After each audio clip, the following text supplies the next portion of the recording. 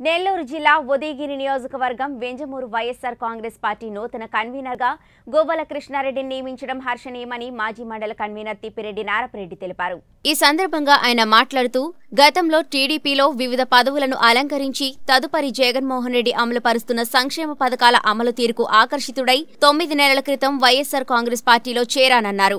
ఈ సందర్భంగా తనకు మండల కన్వీనర్ పదవిని ఇచ్చారని అప్పటి నుండి పార్టీ కోసం అనేక విధాలుగా కృషి చేశానన్నారు. కానీ తిరిగి గతంలో కన్వీనర్గా పనిచేసిన గువ్వల కృష్ణారెడ్డిని మండల కన్వీనర్గా నియమించడం హర్షణీయమన్నారు. పార్టీ కోసం మొదటి నుండి కష్టపడిన వ్యక్తి గువ్వల కృష్ణారెడ్డి అని ఆయనకే ఆ పదవి ఉండాలని తెలియజేయడంతో ప్రస్తుత ఎమ్మెల్యే చంద్రశేఖర్ రెడ్డి సమయానుకూలంగా స్పందించి ఆయనకు ఈ పదవి ఇవ్వడం సంతోషదాయకమన్నారు. ఆయనకు అన్ని విధాలుగా చేదోడు వాదోడుగా ఉండి సహాయ సహకారాలు అందిస్తామన్నారు. తమలో ఎలాంటి విభేదాలు లేవని అందరం కలిసికట్టుగా పార్టీ అభివృద్ధికి కృషి చేస్తామని తెలిపారు.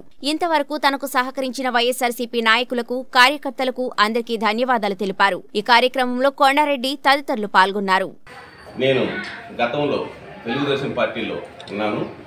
గత తొమ్మిది నెలల కిందట వైఎస్ఆర్ పార్టీకి రావడం పార్టీకి వచ్చిన క్రమంలో ఆ రోజు ఎలక్షన్ మూమెంట్ ఉన్నది కాబట్టి ఆ రోజున్న పరిస్థితులను బట్టి స్థానికంగా ఉన్న పల్లాల కొండారెడ్డి గారికి వైఎస్ఆర్ మండల కేంద్రంలో ఉన్న పల్లాల కొండారెడ్డి గారికి ఆ రోజు మండల అభ్యర్థిగా మండల ప్రెసిడెంట్ అభ్యర్థిగా నిర్ణయించడం అదే క్రమంలో ఇంకో సీనియర్ నాయకులైన బాలకృష్ణారెడ్డి గారిని జెడ్పీటీసీగా నిర్ణయించడం ఆ రోజు జరిగింది.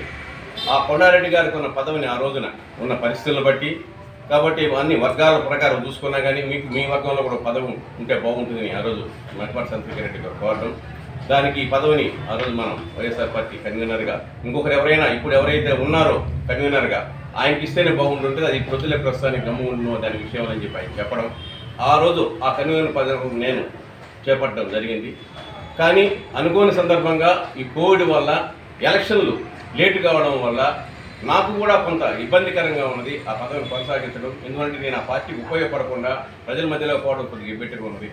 అయినా కానీ పార్టీ ఇచ్చిన పిలుపు మేరకి అనేక కార్యక్రమాలు దాదాపు పదకొండు రకాల కార్యక్రమాలు మొన్న జరిగిన మూడేళ్ళు పాదయాత్ర పూర్తయిన సందర్భం కూడా ప్రతి గ్రామానికి తిరగడం జరిగింది. ఏ గ్రామానికి పోయినా ఆ గ్రామంలో నేను వైఎస్ఆర్ పార్టీకి ఉపయోగపడలేదు కదా ఎవరైనా ఎదురొచ్చి నన్ను ఏమైనా అడగతారని ఒక జంకుతోనే ప్రతి గ్రామానికి పోయినా అయినా నా తల్లిదండ్రులు చేసిన సేవకి తిప్పిరెడ్డి వెంకట చలమారెడ్డి నారాయణమ్మ చేసిన సేవలకు కానీ మేకపాటి వారి మీద ప్రేమతో కానీ లేకపోతే మన వైఎస్ జగన్మోహన్ రెడ్డి గారి మీద ఉన్న ప్రేమతో కానీ ఏ ఒక్కరు కూడా ఏ ఒక్క పాయింట్ ఇవ్వకుండా వాళ్ళ సొంత బిడ్డ మారిగా మమ్మల్ని ఆప్యాయతగా ప్రకటించి ప్రతి ఊళ్ళో కూడా మమ్మల్ని స్వాగతం పలికి మాకు కావాల్సిన ఏర్పాటు చేయడం జరిగింది.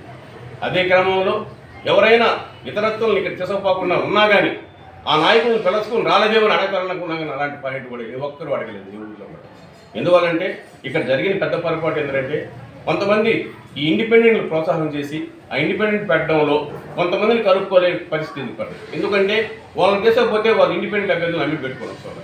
ఇండిపెండెంట్ అభ్యర్థిని పక్కన పెట్టుకొని వచ్చినప్పుడు ఉన్న వైఎస్ఆర్ పార్టీ అభ్యర్థికి మేము బలపరచాలన్నా ఆ ఇండిపెండెంట్ అభ్యర్థికి ఏమైనా చెప్పాలని మా మీమాంసలో పడేవాళ్ళు సార్ అలాంటి ఇబ్బందులు అనేకం ఎదుర్కొన్నాం. అయినా కానీ ప్రస్తుతం మళ్ళీ దాదాపు ఈ పార్టీ పదవులేకి రాదు.